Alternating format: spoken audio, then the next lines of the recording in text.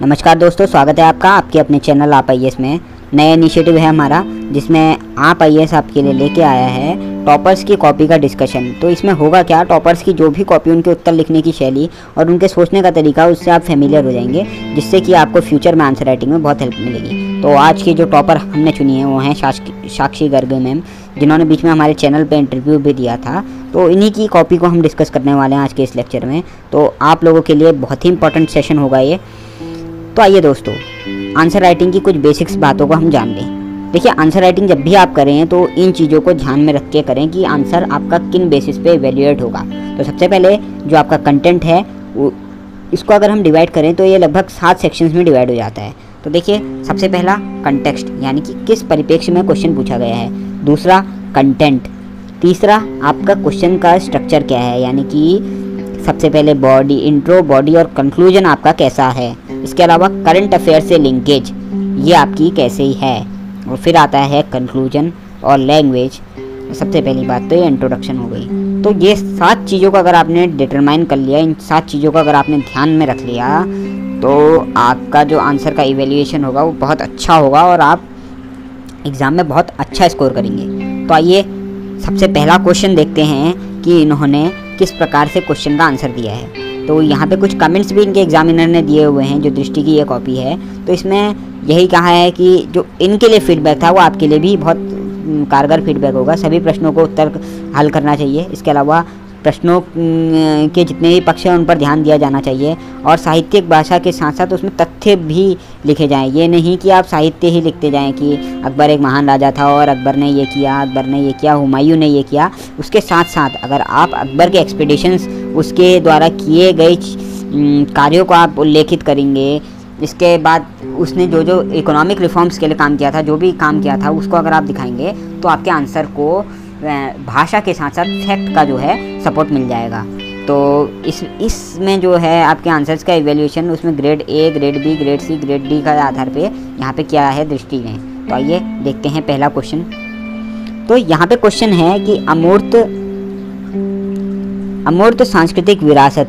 तो वो हम कर्सर को थोड़ा छोटा कर लेते हैं यहाँ पर। तो देखिए, यहाँ पे क्वेश्चन है, अमूर्त सांस्कृतिक विरासत सांस्कृतिक विविधता एवं रचनात्मक अभिव्यक्ति के महत्वपूर्ण अव्यय को, के रूप में पहचाना जाता है, जो भूतकाल की परंपराओं के साथ साथ समकालीन प्रथाओं को भी आत्मसात करती है। उक्त कथन को स्पष्ट करते हुए यूनेस्को द्वारा भारत में पहचाने गए ऐसे प्रतिनिधि विरासतों पर चर्चा कीजिए। यहाँ पे क्या पूछा है? जहाँ पर इसको इंग्लिश में भी देख लेते हैं। Intelli intangible cultural heritage is recognise as important component of cultural diversity and creation creative expression which assimilates contemporary practice along with the traditions of the past discuss the discuss such representative heritage identified by UNESCO in India while explaining the above statement तो यहाँ पे प्रश्न के दो part हो जाते हैं। पहला कि तो ये हो जाता है वैसे आइडेंटिफ, जो हेरिटेज आइडेंटिफाई किए गए हैं यूनेस्को को, उनको डिस्क्राइब करना।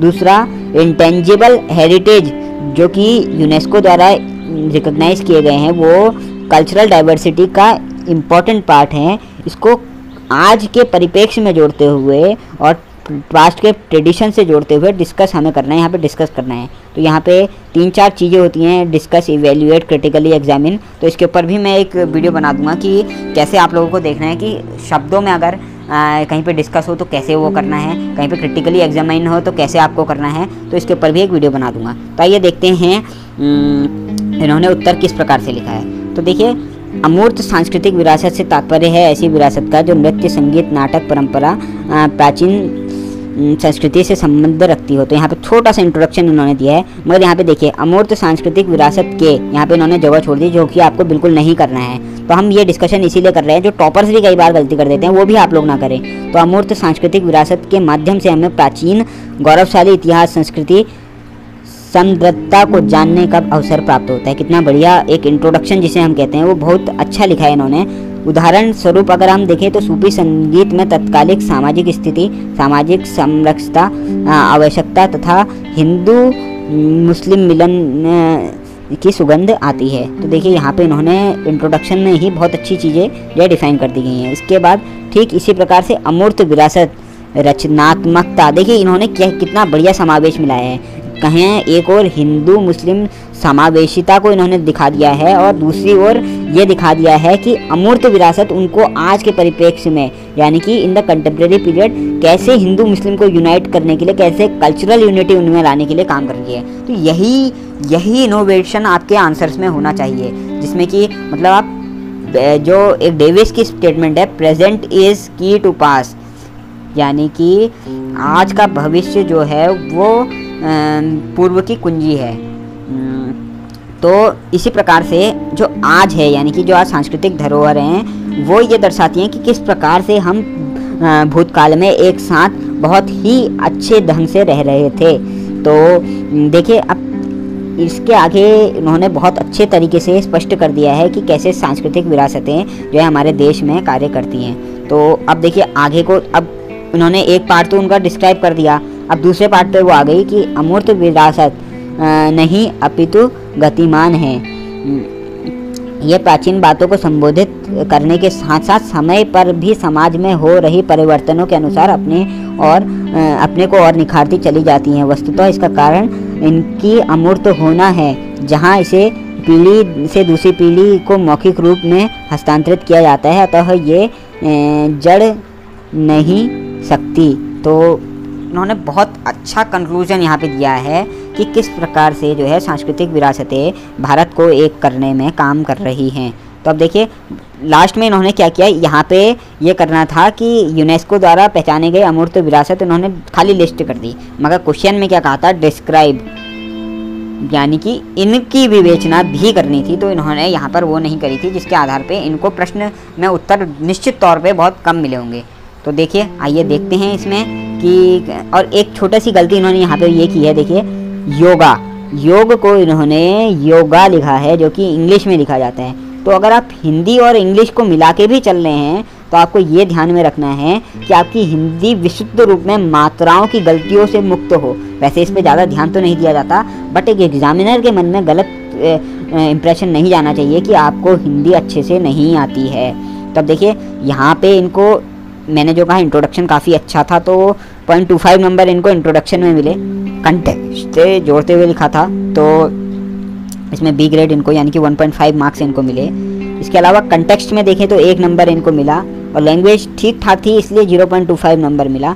करंट से कोई लिंकेज उतने अच्छे से मुझे तो लगा बट एग्जामिनर के हिसाब से करंट लिंकेजेस उतने अच्छे नहीं थे। और कंक्लूजन देखिए, यहाँ पे इनका बिल्कुल नहीं था तो इसको कंक्लूजन के नंबर इनके कट गए, और एरर्स तो इनके नहीं थे करंट लिंक नहीं था। तो कुल मिला के इनकी वैल्यूएशन तीन चीज़ों के आधार पर हुआ, यानी कि इंट्रोडक्शन कंटेक्स्ट कंटेंट और लैंग्वेज तो मेरे हिसाब से आपको ये पॉइंट नोट करने वाला है कि आपको कोई भी प्रश्न लिखने समय किन चीज़ों पर ध्यान देना है? वो है आई सी सी एल सी सी ई यानी कि इंट्रोडक्शन आपका अच्छा हो कंटेक्स्ट से मिलता हो कंटेंट आपका अच्छा हो, भाषा में गलतियाँ ना हो करंट के एग्ज़ाम्पल से लिंक हो। जैसे कि यूनेस्को ने हाल ही में इस साइट को जो है, वर्ल्ड कल्चरल हेरिटेज साइट में इंक्लूड कर लिया है। अगर हम ये भी डाल देते तो बहुत ही अच्छा उदाहरण इसमें हो जाता। अब कंक्लूजन की जब हम बात करते हैं तो अंततः ये हो सकता है कि जो यूनेस्को द्वारा वर्ल्ड हेरिटेज साइट्स हैं, इनको जो है पीढ़ी दर पीढ़ी हमें इनहेरिट की गई हैं। मैं थोड़ा इंग्लिश और हिंदी मिक्स करके इसलिए बोल रहा हूँ, क्योंकि मेरा मीडियम इंग्लिश है। तो आप इसमें थोड़ा सा समझ जाइएगा जो मैं कहना चाह रहा हूँ। तो इसमें देखिए, यूनेस्को द्वारा जो पीढ़ी दर पीढ़ी हमें ये कल्चरल हेरिटेज दी गई है, इसे ना सिर्फ़ संरक्षित करके रखना आने वाली पीढ़ी के लिए बहुत ही आवश्यक है, बल्कि नितान्त रूप से पूर्व में, जो कलाकारियाँ, व संस्कृति हमारी चली आ रही थी, उसको उन तक पहुँचाने में ये विरासतें बहुत ही महत्वपूर्ण योगदान देती हैं। तो हमें अपने कल्चरल जो ये साइट्स हैं, इनके साथ साथ जो कल्चरल एथोज हैं, उनको भी अपने लोगों के अंदर डालने की कोशिश करनी चाहिए, जिससे कि भविष्य एक समावेशी हो पुरानी चीज़ों को साथ लेके चलने वाला हो और एक सस्टेनेबल डेवलपमेंट हो जाए। और यहाँ पे एच का भी आप उदाहरण दे सकते हैं सस्टेनेबल डेवलपमेंट गोल्स का। तो एक अच्छा उत्तर आपका हो जाता। तो आइए दूसरा प्रश्न देखते हैं। सबसे पहले यह देख लेते हैं कि प्रश्न के उत्तर में इनको नंबर कैसे मिले हैं। तो आप देखिए, इस प्रश्न में भी इनको उत्तर में कंटेक्स्ट में दो कंटेंट में डेढ़ लैंग्वेज में 0.25 और करंट लिंक से 0.25 नंबर मिले हैं। तो मैं चाह रहा हूँ कि आपको जो है ये भी दिखा दूँ कि टॉपर्स को भी कई कई जगहों पर ज़ीरो नंबर मिल जाते हैं जिनको उनको अटैम्प्ट नहीं किया होता है। अब ये देखिए, इन्होंने यहाँ पर खाली अटैम्प्ट करके क्वेश्चन छोड़ दिया, जिसमें कि इनको पूरे रूप से ज़ीरो नंबर मिल चुके हैं। तो आइए आगे बढ़ते हैं। जब हम बात करते हैं देश के बंटवारे का, मुझे ये लग रहा है कि इस क्वेश्चन में इनको काफ़ी अच्छे नंबर मिले होंगे क्योंकि इंट्रोडक्शन बॉडी कंक्लूजन अब देखिए, इसमें पूरा क्वेश्चन अच्छे से अटैम्प्ट किया गया है तो ये क्वेश्चन हम बढ़िया करके डिस्कस करेंगे। इसमें इंट्रोडक्शन भी अच्छा है कंटेंट भी अच्छा है कंटेक्स्ट भी अच्छा है लैंग्वेज भी अच्छी है करंट एग्ज़ाम्पल भी दिए गए हैं और कंक्लूजन भी है और यहाँ पर एरर नहीं है तो नंबर नहीं कटे हैं। तो आइए इस क्वेश्चन को डिस्कस करते हैं। आज की वीडियो में यही अंतिम प्रश्न होगा जो कि हम डिस्कस करेंगे आप लोगों के लिए। तो आइए डिस्कस करते हैं इस प्रश्न को जिससे कि आप लोगों को बहुत ही मदद मिले किस प्रकार से जो है आप उत्तर लिखें। तो देखिए देश का बंटवारा एक ऐसी सांप्रदायिक राजनीति का आखिरी बिंदु था जो 19वीं शताब्दी के अंतिम दशकों में शुरू हुआ।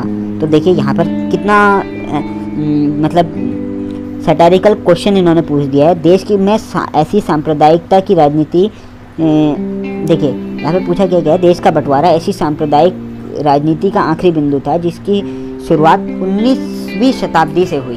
तो यहाँ पे देखिए 19वीं शताब्दी का अर्थ, जबकि जो है मुस्लिम लीग जो है चुनाव हारती है सभी प्रोविंसेस में, वहाँ से शुरुआत होती है इस कम्युनल पॉलिटिक्स की, और वहीं से डिमांड होती है सेपरेट इलेक्टोरेट की। तो आइए जानते हैं, अगर आपने पढ़ा होगा तो आपको ये चीज़ें रिमाइंड आ रही होंगी, दिमाग में आ रही होंगी। तो इंग्लिश में अगर देखिए partition of the country was end point of the communal politics and started the last decade in nineteen century examine तो इसको एग्जामिन करना है हमने। तो आइए इनका उत्तर देखते हैं कि इन्होंने किस प्रकार से ये देख लिखा हुआ है। तो इंट्रोडक्शन में देखते हैं। उन्नीसवीं भारत का बंटवारा, भारत का बंटवारा देश। देखिए, भारत का बंटवारा देश के लिए दुखद, विपत्तिजनक घटना थी, जिसका बीज उन्नीसवीं शताब्दी के अंतिम दशक में दिखाया दिखना शुरू हो गया था। मुस्लिम तुष्टिकरण की नीति बंग भंग मुस्लिम लीग का निर्माण मोर्ले मिंटो सुधार, लखनऊ समझौता 1987 का चुनाव, शिमला सम्मेलन, कैबिनेट मिशन आदि तत्वों ने इसे धरातल पर ला दिया। बहुत अच्छा इंट्रोडक्शन देखिए, कितना अच्छा इंट्रोडक्शन किया है इन्होंने। इसके अलावा देखिए, उन, यहाँ पे एग्जामिनर ने नोट इनको दिया है कि 19वीं सदी के अंतिम दशकों में स्थिति को और स्पष्ट कीजिए। तो यहाँ पर देखिए, इनको ये भी स्पष्ट करना था कि उन्नीसवीं सदी के अंतर्गत जो लास्ट डिकेट था, उसमें भारत की वास्तविक स्थिति क्या थी? तो अब देखिए, उन्होंने क्या किया? अट्ठारह के विद्रोह के बाद अंग्रेज़ों ने अपनी नीति में परिवर्तन किया साथ ही विलियम हिटलर की पुस्तक, भारतीय मुसलमान के प्रकाशन के बाद मुस्लिमों में की तुष्टिकरण करना प्रारंभ कर दिया। तो ब्रिटिश का एक बेसिक वो था कि डिवाइड एंड रूल उस पॉलिसी पे ब्रिटिश काम कर रहे थे, इन्होंने इसको समझा दिया। ठीक है? इसके बाद इन्होंने क्या समझा दिया? 1905 में बंगाल विभाजन 1906 में मुस्लिम लीग का निर्माण के सहयोग व 1909 में मोर्ले मुंटो सुधार के द्वारा अंग्रेज़ों द्वारा स्पष्ट कहा गया, हम भारत में विषैले बीज बो रहे हैं। तो देखिए, एक तरीके से इन्होंने सटैरिकल वे में पूरा स्पष्ट करने शुरू कर दिया चीज़ों को। इसके अलावा देखिए, आगे पॉइंट वाइज फॉर्मेट में अगर आप लिखें, बहुत अच्छा आपका प्रेजेंटेशन होगा, जैसे इन्होंने इस क्वेश्चन में किया है। आगे तिलक द्वारा गणेश व शिवाजी जैसे धार्मिक प्रतीकों का प्रयोग कर कर पूर्ण हिंदू वादी आंदोलन का अनावरण करने की कोशिश की गई। अब यहाँ पे इन्होंने इंडियंस का भी रोल बता दिया है, जो है कम्युनलाइजेशन में। अब देखिए 1937 के चुनाव में करारी हार के बाद मुस्लिम लीग में सांप्रदायिक राजनीति की राह चुनी। व इसी क्रम में सर सैयद अहमद ने ई अलग राष्ट्र की मांग की। रहमत अली ने पाकिस्तान का नाम का सुझाव दिया। इसके अलावा देखिए, जब आगे बढ़ते हैं इसमें तो कालांतर में कैबिनेट मिशन शिमला सम्मेलन जिन्ना की महत्वाकांक्षा को बढ़ा दिया। जिसके बाद फलस्वरूप उन्होंने संपूर्ण देश में जो है, इसको गृह युद्ध की स्थिति को वो कर दिया, जिसे उन्होंने नाम दिया था फाइनल कॉल का। तो फाइनल कॉल का उन्होंने वो किया था। अब देखिए, यहाँ पे एग्जामिनर का नोट क्या है? सांप्रदायिकता के प्रभाव को और स्पष्ट कीजिए। तो इससे हम और भी चीज़ें कर सकते थे, जिसपे जो है हमारी भारत की समावेशी जो संस्कृति मानी जाती थी, जो हमारे देश की गंगा जमुनी तहजीब था, उस पर बहुत बुरा प्रभाव पड़ा। इस तरीके से हम इसको और स्पष्ट कर सकते थे। और इसी क्रम में मजबूरबस कांग्रेस ने देश का विभाजन कर दिया और गृह युद्ध को, का समाधान निकाला। लेकिन यह अंग्रेज़ों की कूटनीति फूट डालो और राजनीति का अंतिम बिंदु नहीं था। देश के विभाजन मात्र भारी शांति प्राप्त हुई। वास्तविकता में इसके दुष्परिणाम वर्तमान आज़ादी के सत्तर दशक के बाद भी प्रत्यक्षता प्रतीत हो रहे हैं जहाँ कश्मीर में आतंकवाद पा, पाकिस्तान में घुसपैठ अयोध्या कांड मुजफ्फराबाद दंगे आदि इसी का परिणाम है। इस समस्या की निजात हेतु अब देखिए यहाँ पे इन्होंने दो लाइनों का बस कंक्लूजन भी दे दिया कि इस समस्या से निजात पाने हेतु देश को पुनः सूफीवादी विचारधारा, सहिष्णुता योग्य का वातावरण बनाने की आवश्यकता है। तो देखिए, इस प्रकार से उन्होंने क्या किया? किन चीज़ों पे फोकस किया? इंट्रो अच्छा दिया। ठीक है? कंक्लूजन मतलब देखिए कंटेंट इन्होंने ठीक ठाक रखा। कंटेंट आपका क्या आएगा? बेसिक बुक्स आपको पढ़नी पड़ेंगी कंटेंट के लिए। कंटेंट के बाद कंटेक्स्ट पे मतलब टू द कंटेक्स्ट इन्होंने बात की। कंटेंट कंटेक्स्ट हो गया। इसके अलावा देखिए, अब लैंग्वेज की बात करें, कितनी साधारण भाषा लिखी अब आदमी कहता है कि डिक्शनरी से बहुत बम्बार्डिंग वाले शब्द यूज़ करो, मगर मैं सुझाव दूँगा कि ये शब्द आप बिल्कुल सिंपल जितना रहेंगे, जितना आप एग्जामिनर के लिए फ्रेंक रहेंगे, उतने अच्छे उत्तर आप लिख पाएँगे। और कंक्लूजन आपका बहुत सटीक होना चाहिए। और कंक्लूजन जब भी आप लिखें तो कंक्लूजन को लिखें पॉजिटिव एंड के नोट के साथ। जैसे कि आप ऐड कर सकते हैं कि किसी सदी में भारत बढ़ती हुई आबादी और मतलब बढ़ती हुई अर्थव्यवस्था है और one of the fastest growing economy है। वर्ल्ड ग्लोबल इनोवेशन इंडेक्स में हम लोग लगातार ऊपर जा रहे हैं। तो भारत निश्चित तौर पे एक विश्वगुरु बनेगा। इस प्रकार से कुछ मतलब जिसमें पॉजिटिविटी दिखे, हर जगह अगर आप पॉजिटिव रहेंगे तो एग्जामिनर को लगेगा कि आप पॉजिटिव माइंडसेट वाले व्यक्ति हैं। और निश्चित तौर पे आपको एग्जामिनेशन में एक एज मिलेगा, उनके ऊपर जो नेगेटिव नोट के साथ एग्जामिनेशन में क्वेश्चन एंड करते हैं। तो दोस्तों, आज वीडियो में इतना ही। कल फिर हाजिर होंगे एक नई वीडियो के साथ, जिसमें अगले दो क्वेश्चन डिस्कस हो सकते हैं या फिर किसी और टॉपर्स की पूरी कैसे उन्होंने उत्तर लिखने की शैली थी वो उनकी डिस्कस कर सकते हैं। या फिर हम ये काम कर सकते हैं कि G S one G S two G S three G S four पहले इनका डिस्कस करें और टॉपर वाइज मतलब जैसे साक्षी गर्ग जी का हमने सारे पेपर की कॉपीज़ डिस्कस करी उसके बाद आ, जो है दूसरे टॉपर की लाएँ फिर तीसरे टॉपर की लाएँ। आप कमेंट सेक्शन में कमेंट करके बताइए कि आपको किस प्रकार की वीडियोस चाहिए कि आप क्या इसको सेक्शन वाइज चाहते हैं क्या इसको आप टॉपिक वाइज चाहते हैं। क्या आप इसको टॉपर वाइज चाहते हैं? जैसे भी आप लोग चाहते हैं, आप इसको कमेंट सेक्शन में कमेंट करके बताइए। टीम आप आई आपके हर प्रयास में आपके साथ हैं। तो धन्यवाद, बहुत अच्छा लगता है आप लोगों से जुड़कर। और जो भी लोग आंसर लिख चुके हैं, वो कृपया कमेंट बॉक्स में कमेंट करके बता दें। या फिर हमारे मेन्स आंसर राइटिंग इनिशिएटिव से आप लोग जुड़ जाइए। लगातार फ्री इनिशिएटिव है हमारा। और बिल्कुल निःशुल्क आप लोगों को उत्तर जो है आपके इवेल्युएट करते हैं हम लोग।